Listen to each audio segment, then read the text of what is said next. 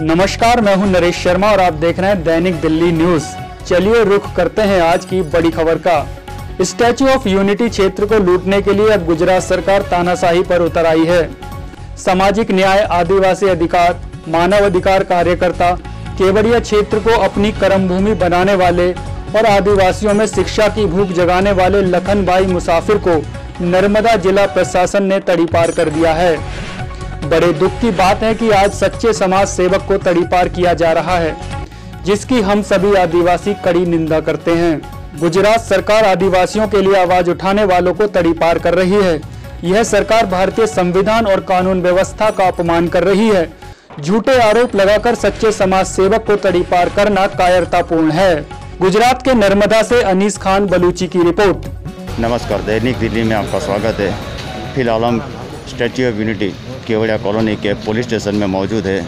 यहाँ पे अभी फ़िलहाल एक ऐसा बनाव बना है कि एक जो आदिवासियों के हक के लिए जो लड़त लड़ रहे थे संस्थाल के लोग हैं उसमें लखन मुसाफिर नाम का एक आदमी है उसको आज तड़ी पार का ऑर्डर हुक्म दिया है। उसके लिए काफ़ी गाँव वाले और उनके समर्थन में इधर आए हुए हम उन्हीं के सा, उनके साथ के संस्था वाले कुछ भाई से पूछने का प्रयास करते हैं कि भाई किस किस आधार और किस गुनाह में लखन भाई को तड़ी पार किया जाता है?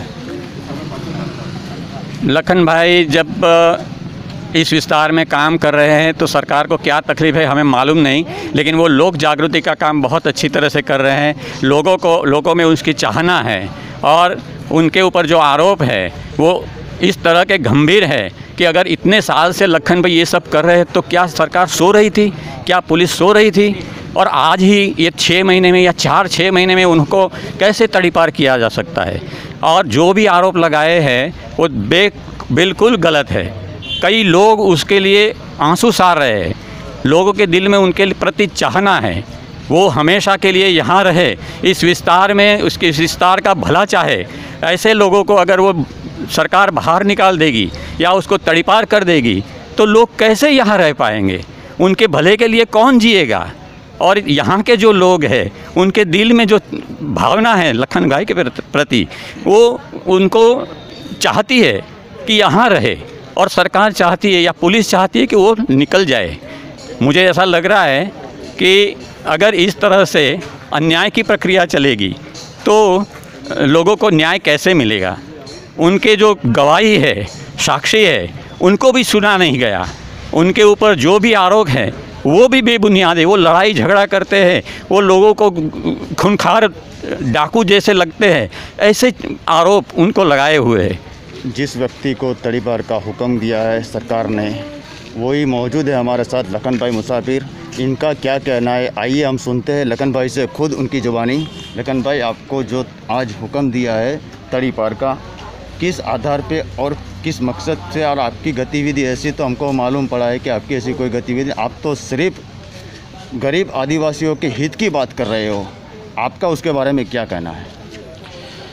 आ, ये पिछले सा, सात साल से यहाँ जो चल रहा है कि लोगों का ज़मीन का मुद्दा है कि जो कॉलोनी बनाने के लिए ज़मीन ली गई थी और जो निगम ने कभी इस्तेमाल नहीं किया तो वो ज़मीन हमें वापस दो।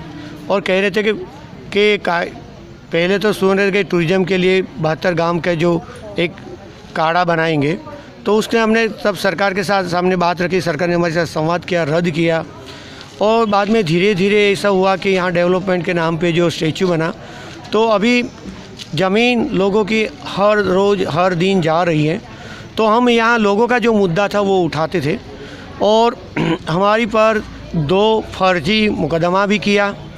आ, तो हमने कहा ठीक है वो कोर्ट में जो न्याय मिलेगा होगा। बाद में वो आधार पे दो मुकदमा के आधार पे तड़ीपार का एक नया उस तरीका निकाला और ये छः महीने से प्रक्रिया चल रही थी और तो आज मुझे ऑर्डर मिला है कि आपको पाँच डिस्ट्रिक्ट में छः महीने के लिए यहाँ रहना नहीं है क्योंकि आप यहाँ अशांति करते हैं शस्त्र रखते हैं गुंडागिर्दी करते हैं ऐसा उसमें सब लिखा है। तो हम कभी भी अशांति को तो मानते ही नहीं हैं। हमारा रास्ता जो है प्यार का अमन का है और हम चाहते हैं कि देश में सबका विकास हो, सबका साथ हो, लेकिन सबके साथ संवाद करके होना चाहिए। यहाँ के लोगों की जो पीड़ा है, प्रश्न है, वो लोगों तंत्र को सुनना चाहिए। ये थे लखन मुसाफिर, जो लोकशाही में मानने वाले लोग हैं, उनको न्याय तंत्र पे पूरा भरोसा है और अभी आगे भी भरोसा रखते हुए मैं अनिश खान बलूची, दैनिक दिल्ली की ओरिया कॉलोनी। अब तक की खबरों में इतना ही, बाकी खबरों के लिए देखते रहिए दैनिक दिल्ली न्यूज़। नमस्कार।